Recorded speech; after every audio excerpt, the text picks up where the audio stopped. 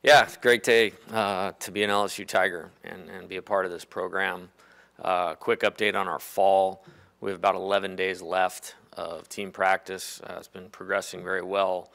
A couple of the highlights over the next couple weeks is uh, Sunday we play Louisiana Lafayette here, 16 innings, uh, which will be great. Really appreciate the fans uh, coming out last Sunday. It was pretty impressive for a fall game turnout. And then next weekend we'll have our Fall World Series where we'll split the team up. Uh, players will coach themselves, uh, compete really hard, and uh, make it a wrap for uh, about a month and a half. So uh, that's been going good and looking to finish strong there. You know, relative to, to why we're here and the recruiting class, this is a significant day for our program. I think a couple things that stand out is work you know, from the second we got here, I mean, literally from in 15 minutes from being announced here, this started to take shape for us. And uh, there's a lot of people that invested a lot of time in it to make it happen. First off, um, and mainly our two assistant coaches, you know, Dan Fitzgerald and Jason Kelly. Um, first off, and, and, why I chose them and, and hired them is I wasn't willing to compromise on the recruiting side, which is evident in this class and certainly wasn't uh, willing to compromise on the development side. And I think if you pulled our current players and the, and the impact that, that both Coach Fitzgerald and Coach Kelly have on our team, it's, it's significant.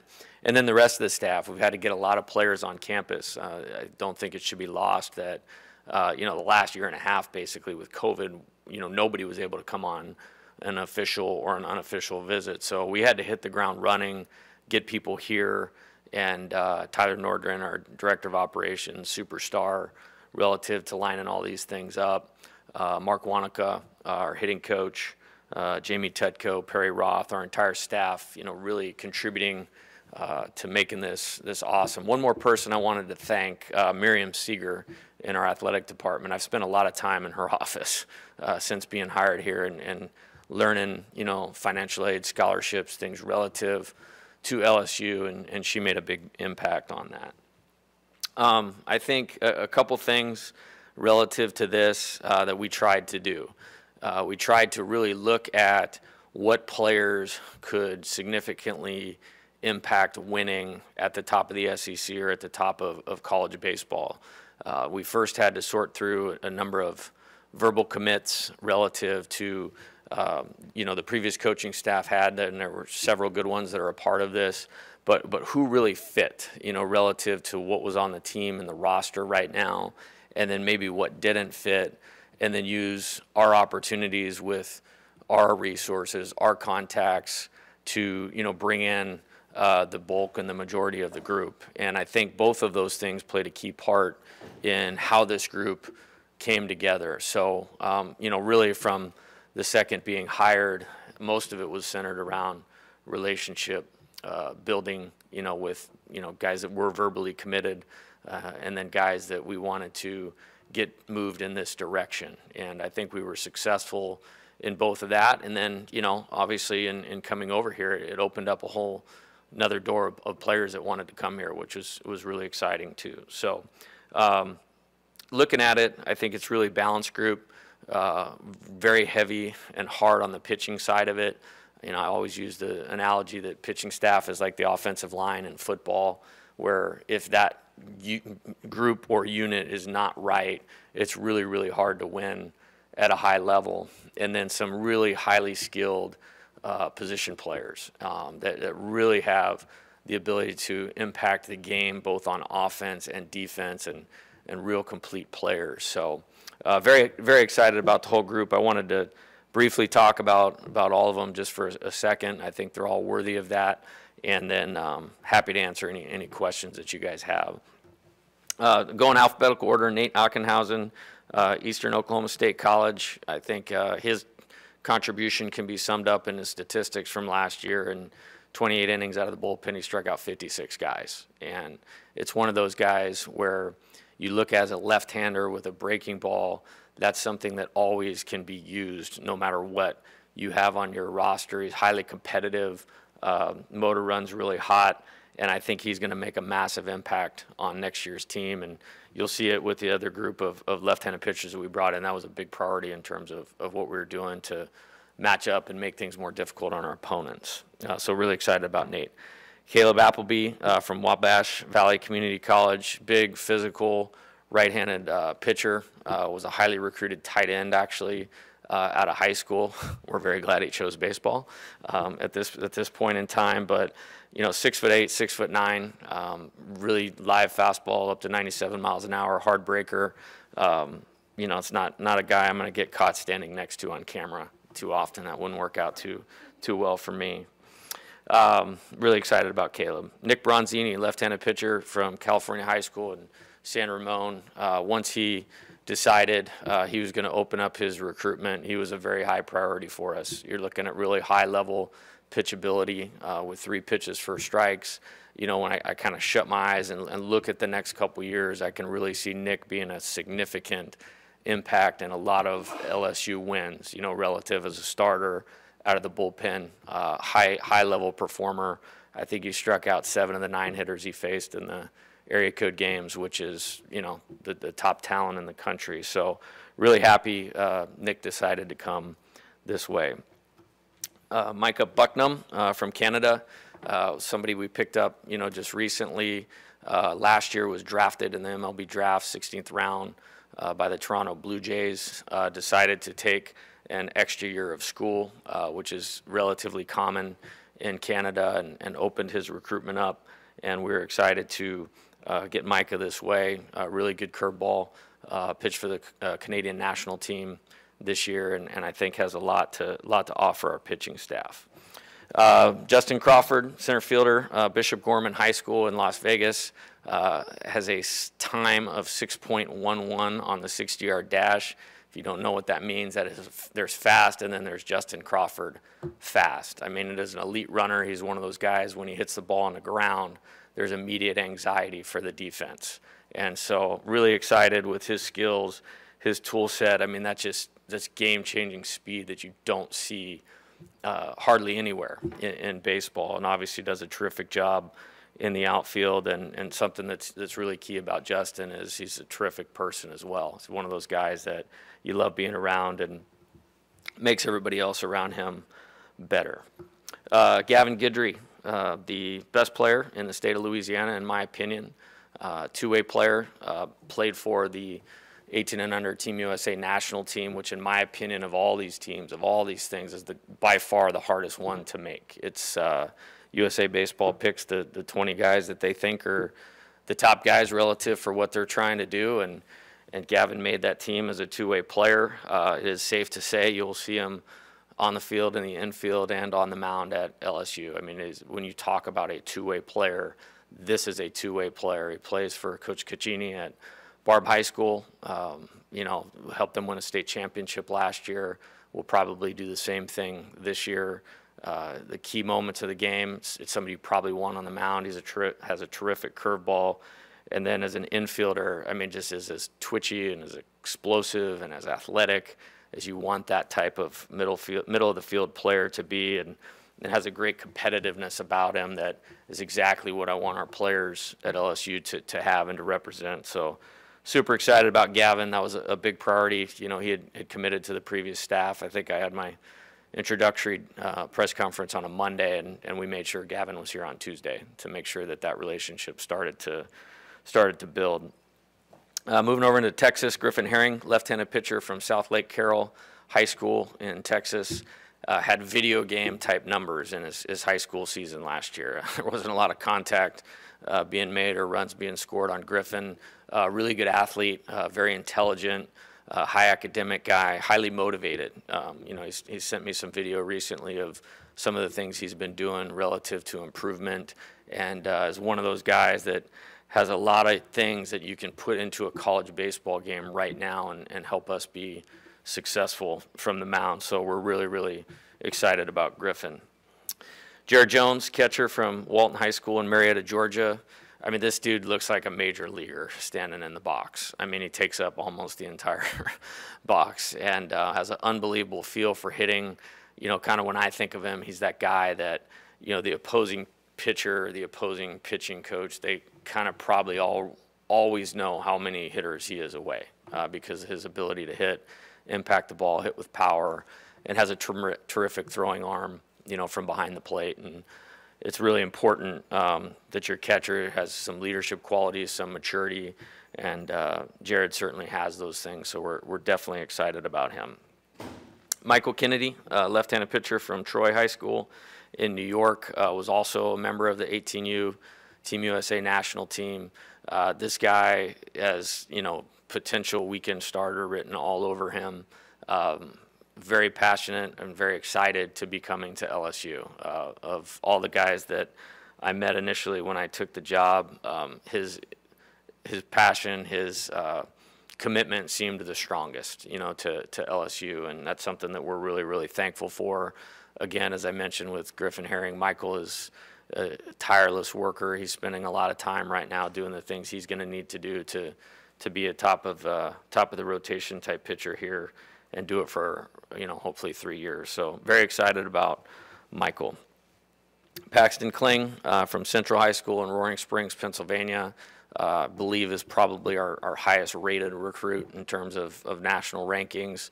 Uh, very, very talented player relative to speed, power, hitting skills, ability to go get the ball in the outfield. Again, was also on the 18U national team, and um, really, I believe that his potential is limitless. And it's it's one of those guys that I'm excited to to work with. I'm excited for Coach Wanaka to continue to get to work with him as well, um, and see what that turns out. You know, in you know two or three years time uh, from here. So very excited about Paxton.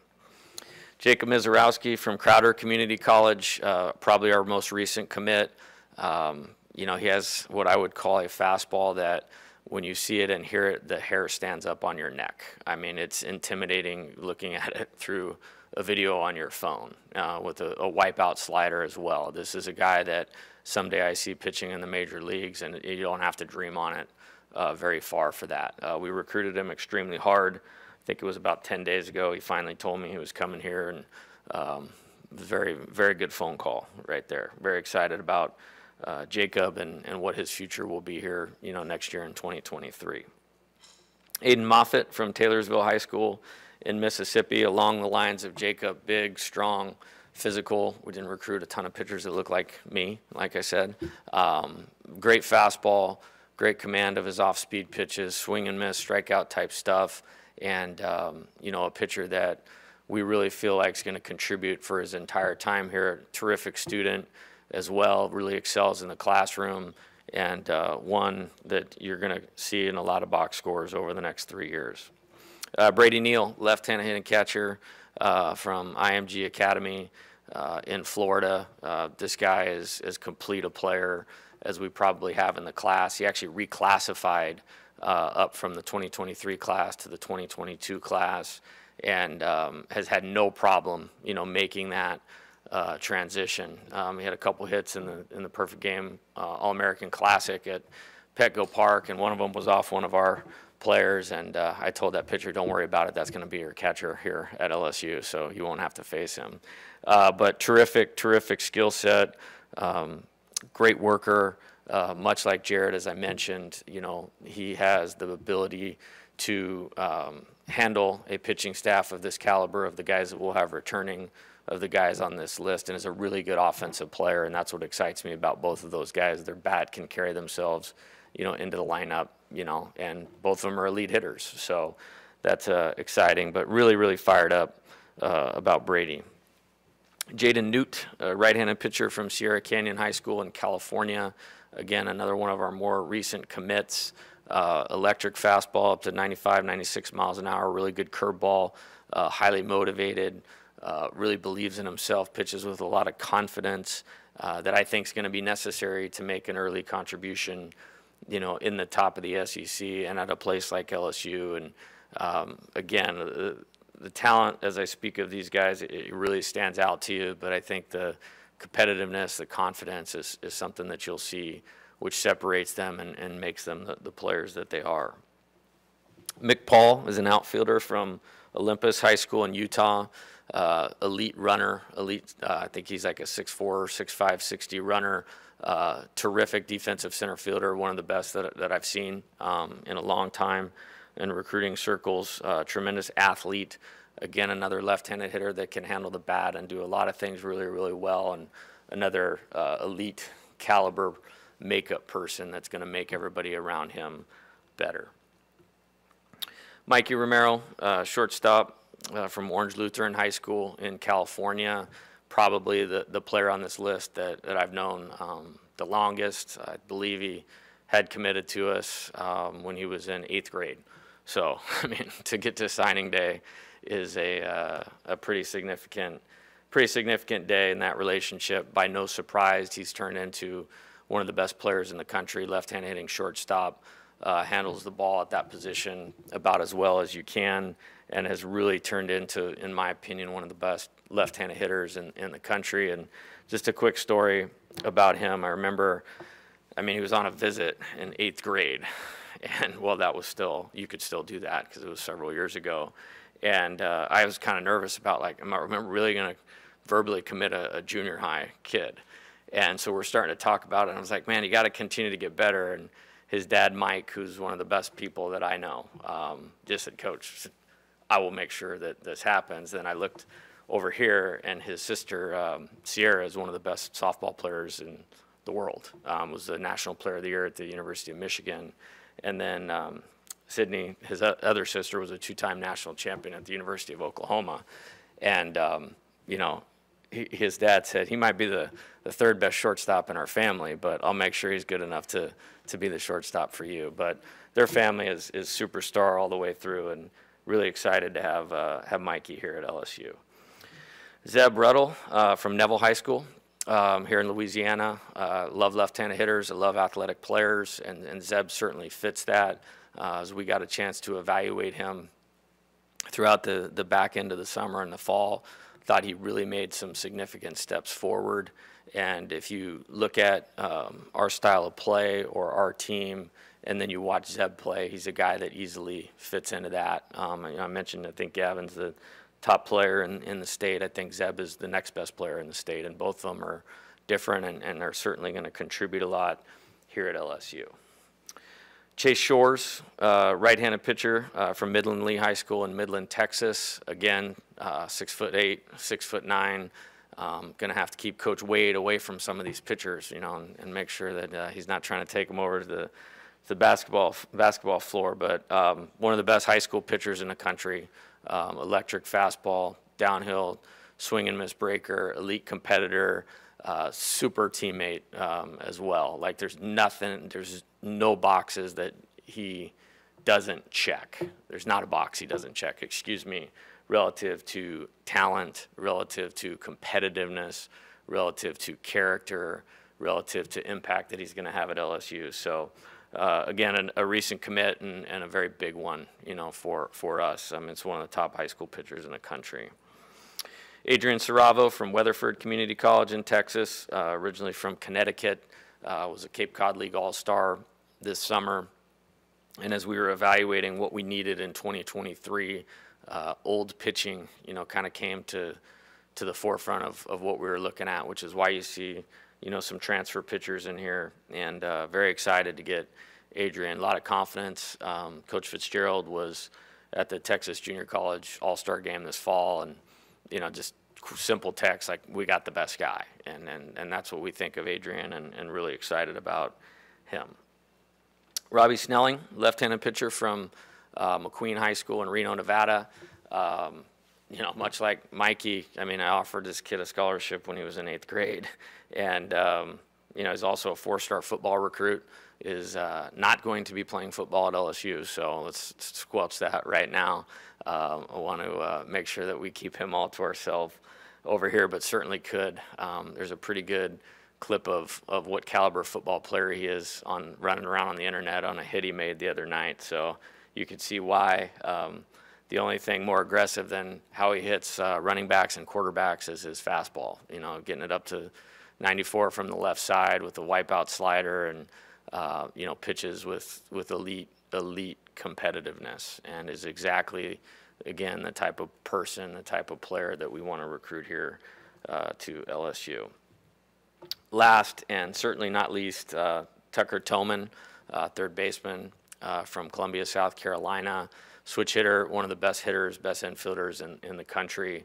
Uh, had performed all summer against the top competition. He's obviously got a great uh, baseball background. Um, his dad, Jim Toman, uh, you know, legendary coach and recruiter at the college level at multiple stops. And, um, you know, you could see it in, in, how Tuck plays that he's been around baseball his entire life and, um, you know, has unbelievable awareness. I think when I look at this list, uh, I think there's a lot of guys that could make immediate contributions. I think Tucker, you know, really jumps up to the top of that as, as well and will fit really well with a, a really good group of, of returning players that we think we're going to have, you know, following this season. So great day. Um, you know, like I said, a lot went into it. There's been a lot of uh, low sleep, high coffee uh, nights since the uh, end of June to get to today and well worth it. And there's another part of this process, you know, obviously this is a special place and a special experience. And when you talk about, you know, guys like Alex Bregman and DJ LeMahieu and Kevin Gausman, all the guys that used LSU as their development path to be, you know, Major League Baseball All-Stars, you know, we want these guys to do that as well. So uh, it's a great start, you know, and now we'll get into that next phase of, of why this is important for them. So great day to be a Tiger.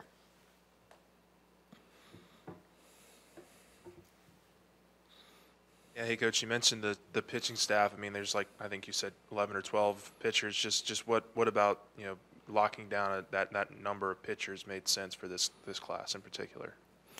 Yeah, I think um, I'm very open-minded, and you know really you know came into this thing with okay, what is the most important thing?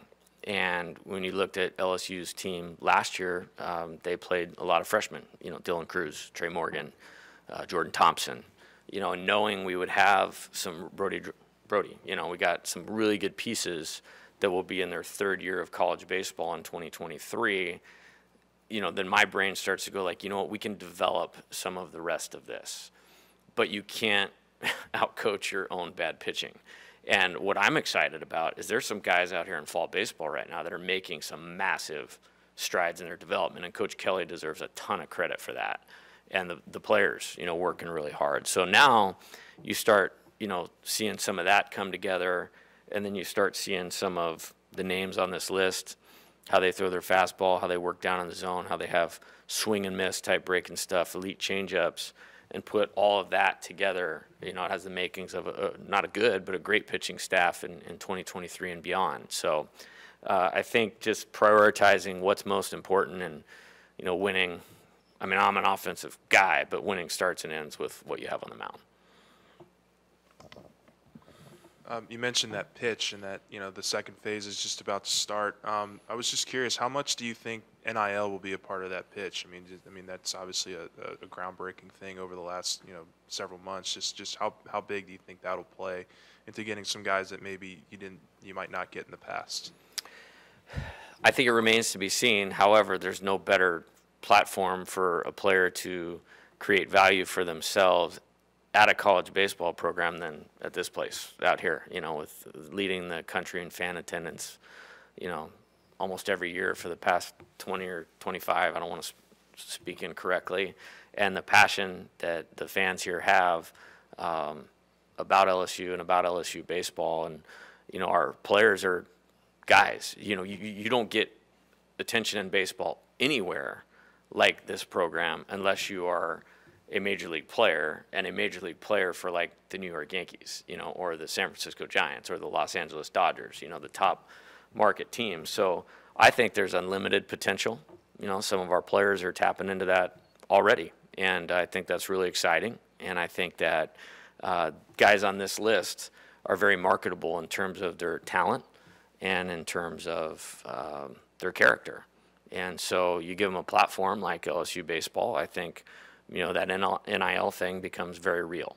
And uh, hopefully that helps a couple of them, just gives them another reason, you know, not to bypass this. For me, there's 20 other reasons that are more important to that and their development and their growth and their readiness for professional baseball that they'll get by playing here in, in this environment. But, you know, I, I think it's very realistic to say that that, that could help us.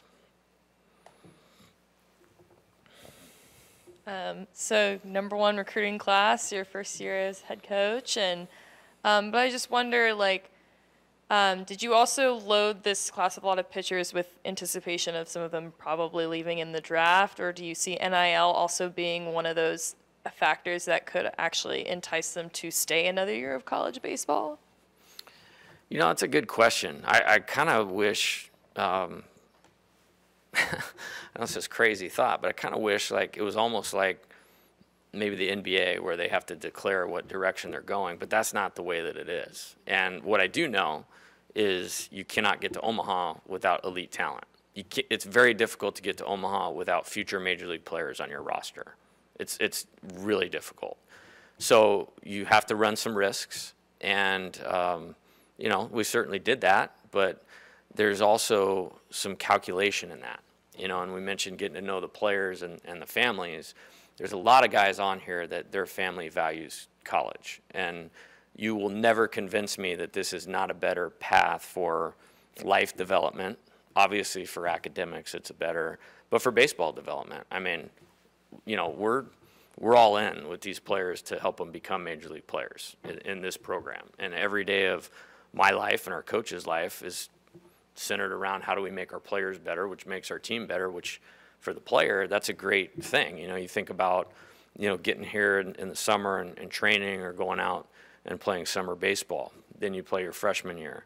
Then you go to the Cape Cod League in your, your sophomore year. Then Team USA. You know, weight room, uh, one of the best weight rooms in college baseball with, with Coach Roy. And so it's just like this 36 month laboratory for improvement. And then now you can go into professional baseball really ready to, to succeed. You know, everybody wants to point to like a Mike Trout or a Corey Seager. Okay, yeah, those guys are one of a kind. You know, I mean, they're, they're, they don't run around everywhere. Um, but by and large, you know, if you look at guys that stay in the major leagues for a long time and have sustainable careers, most of those guys actually come from college baseball and programs like LSU. And so I think these guys, um, they value education. I think we'll spend a lot of time over the next six months, seven months, continuing to educate them on that, and that's part of this.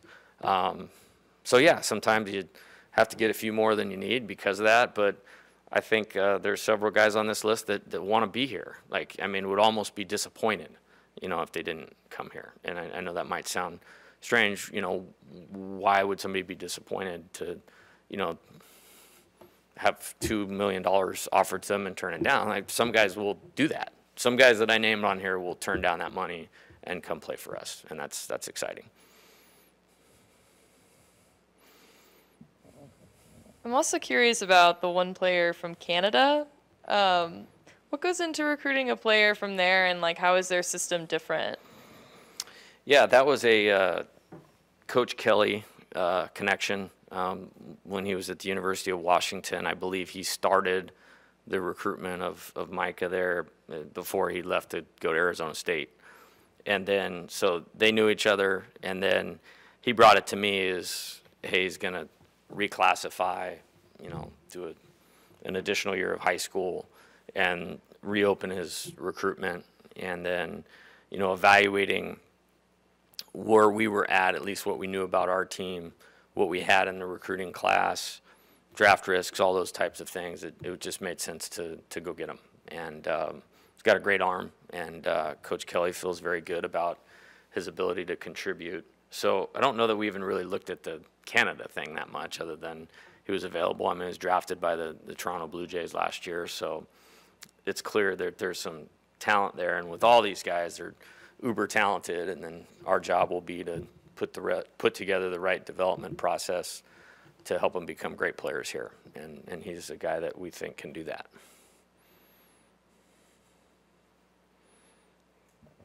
Um, I was told to ask about Gavin Guidry and just what makes him such a special player, and if there's maybe a story that you know just over the last couple months that you've gotten to get to know him that really makes him stand out.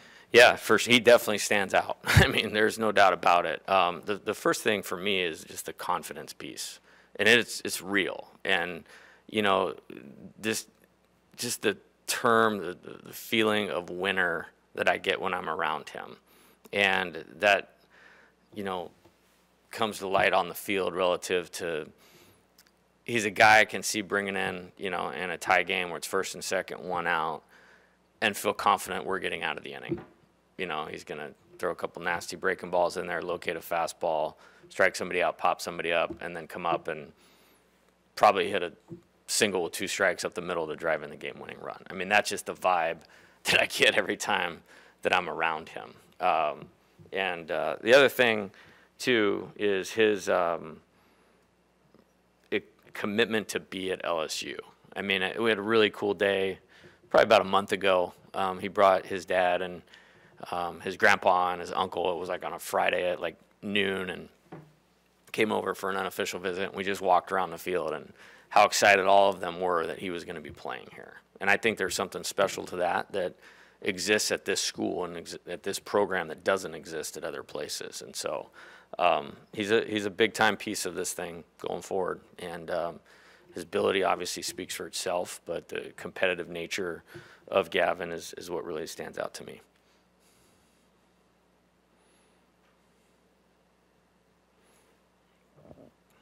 Um, I'm only seeing, I think, two Louisiana natives on this uh, list, and I'm just curious, like, um, you know, you seem to go all over the country for this class. Uh, was that something? Is that something that's different about your class or than years past? Or, um, yeah, I was just wondering if that's a new thing for LSU baseball.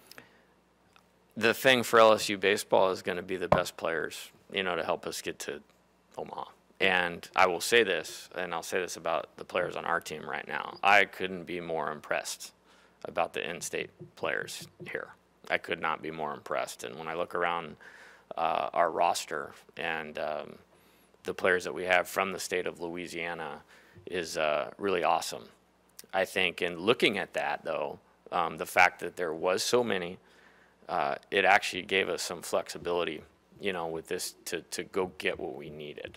And um, so I don't know that there's a there's a trend. If there's a really good player from Baton Rouge, you know, West Monroe, uh, New Orleans, uh, Slidell, or wherever, um, and they can help us get back to the College World Series, then we're definitely going to be recruiting them. So there's no intentionality behind any of that. And I think, you know, I think you'll see a couple more guys come on board. Um, so, um, no, I don't, I don't know that I have an answer for that, really.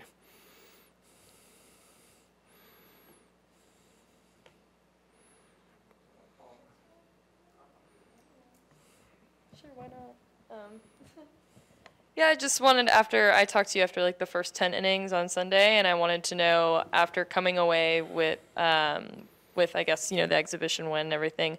What did you see from your team that was encouraging, and what is the mindset going into this weekend's slate of scrimmages? What are you hoping to see? Yeah, I think uh, the encouraging parts, again, starting and ending with pitching. I think, you know, walking two guys in 20 innings is, that's significant. Significant positive development. And like I said, I mentioned some positive impact, you know, Coach Kelly has had on recruiting some of these players. I think uh, he's made a, a better or a bigger impact on the field, you know, with the pitching staff. And I think the pitchers would tell you that and probably have already. Um, so lim- the limiting of free bases from the mound, and then, and I think we made two errors in 20 innings. Um, I thought we handled the baseball really well. So you know, when you're limiting opportunities for the opponent like that, it can be really hard to to score. And I think um, it's well documented. We have some really good position players where you might be able to get through the order a time or two, but it's going to be really difficult to get through it two, three, or four times. And so, if we pitch and defend at that level, and then continue to improve offensively with some of the, the talent that we have, um, I think that's a good recipe for us.